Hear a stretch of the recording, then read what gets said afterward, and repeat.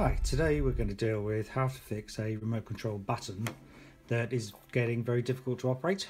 Uh, so very often the commonly used buttons like the power button on this TV remote control, uh, you have to press it very very hard to get the TV to turn on or off and that's because the conductive surface underneath the button is becoming worn out through repeated use and um, these are all rubber buttons and underneath they have a sort of carbon coating uh, which has a lowish resistance which when you press it connects on a circuit board to connect two uh, copper tracks together.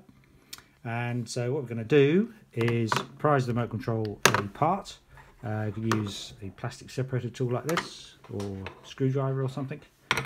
And we're going to try and see if we can fix it just using a pencil. Now this 2B pencil uh, contains graphite although it used to be called lead pencils, it's not lead, it's actually graphite. And if you scribble on a piece of paper, like I've done here, and then you measure the resistance with a multimeter, you'll see that the graphite is actually conductive. Then the resistance goes down, and it's about it's going to be about one or two kilo ohms, just a little bit of scribbling with a pencil. And hopefully that is enough to fix the button, so we shall see. So first let's get it apart. So to get these things apart, either with a plastic tool like this or with a screwdriver, you have to prise in the gap between the two halves of the plastic casing. And uh, normally these two uh, just clip together. Look for any screws that are underneath which uh, support it. But uh, try and wiggle it in there and force the two halves of the case apart and you should see where the little clips are and hopefully be able to release it. Like so and there is your rubber membrane containing all the buttons. And the center part of underneath of the button is um, conductive. So when you press it it connects the tracks on these little button areas on the PCB so hopefully um, we should be able to just improve the resistance. In fact on the power button you could see that power button is actually shiny where the other ones are not so shiny which shows that uh, the conductive surface has indeed worn off. Um, what I've done in the past actually is to glue on a little bit of aluminium foil which is a very quick way of doing it. Foil of course is a lot less resistance than uh, the graphite I'm going to put on this time. Uh, I couldn't lay my hands on some double-sided tape so we're just going to try the pencil trick and see if that fixes it. There we go, make sure the pencil's nice and blunt so we can try and get lots of the graphite over the button. The other thing that would be ideal is I sometimes keep my toolbox but I've run out now uh, would be some silver ink.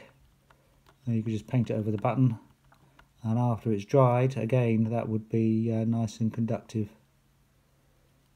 Um, but I don't have any of that, that of my toolbox either so hoping this is just going to be a quick fix.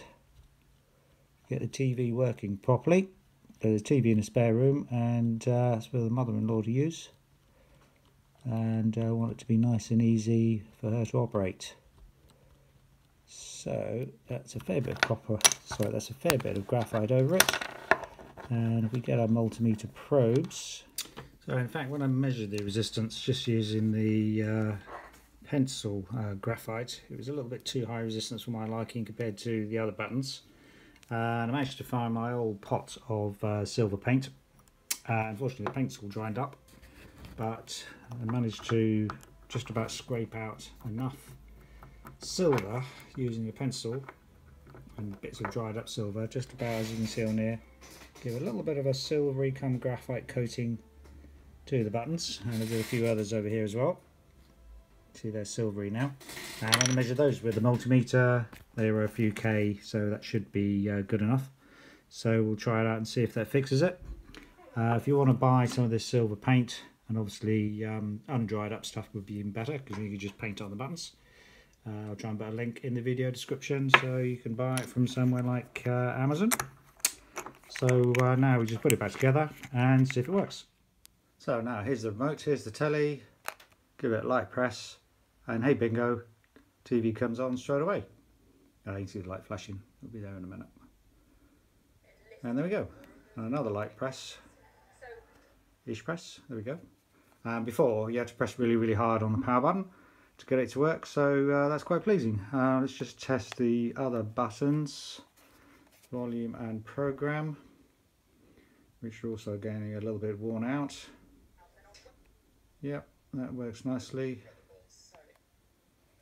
Very gentle pressure on those up and down and the volume. Yep. That's all good. So that should be now nice and easy for people to use rather than thinking that uh, the TV wasn't working.